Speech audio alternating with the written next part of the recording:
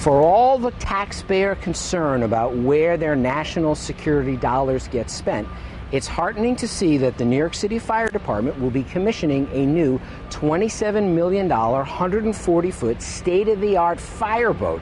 And this new piece of high tech firefighting technology gives us a fascinating glimpse as to where security dollars get spent.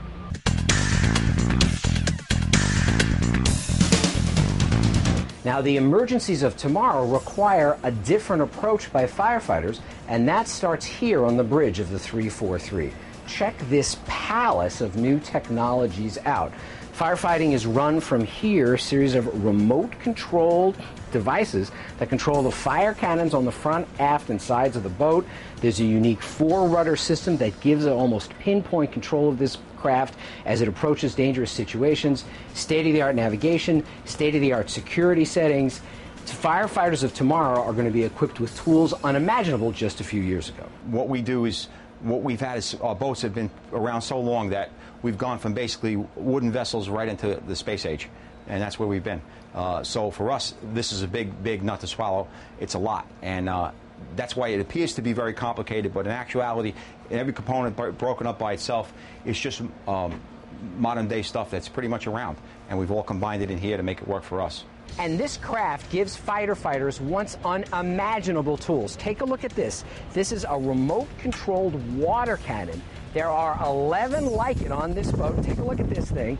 It is controlled with pinpoint accuracy. It can move by remote control from the recorders on the deck. There are 11 like it, as I said, and this throws 50,000 gallons of water a minute, which is a significant upgrade over older craft.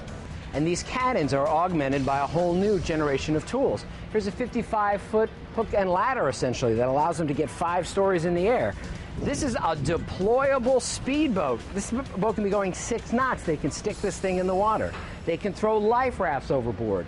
They can do high voltage tie ins, hookups. They can even save boats over the side with a rear swimming platform here. This is a remarkable piece of safety technology. Now, what makes the 343 unique is a completely separate decontaminated area where crew can stay during emergencies. And that starts right here. A decontaminated shower, so they can shower off with fresh water to get clean during an emergency. This is pretty remarkable stuff on a boat of this size a separate chamber for decontaminating and pressurizing the environment. And come on, follow me. Here we go. This is a fully separate chamber where the crew can live and work during extended stays in the modern fire. Events now last days and weeks on end, and crews of tomorrow need this space to have the flexibility to stay safe in emergencies involving dangerous chemicals, and other sorts of materials. Now, this decon area has all the tools a modern firefighter needs.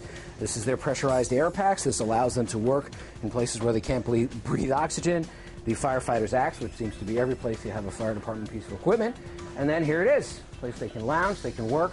It has a crew of seven, and if they need more, they sit here.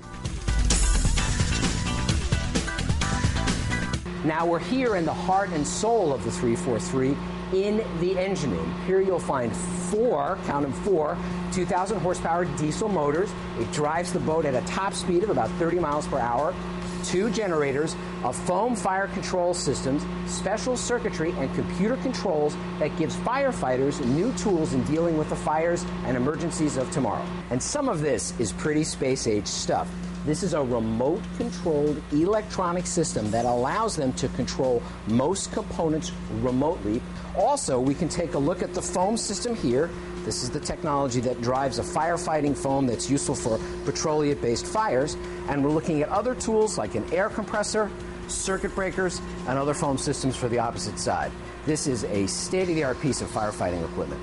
Now, questions swirl around craft like the 343, the largest of which is staffing. The ship is rigged to currently handle a crew of seven, and that may not be enough to fight tomorrow's emergencies. Yet the fire department is under intense pressure from the Bloomberg administration to save money in these fiscal hard times. But what is clear is this technology of tomorrow is replacing technology that is over 70 years old. This is one of the ships that this boat will be augmenting in the coming days, and you can clearly see an upgrade will give firefighters of tomorrow new tools in handling tomorrow's emergencies. Jonathan Bloom, the Brooklyn Navy Yard, CNN Money.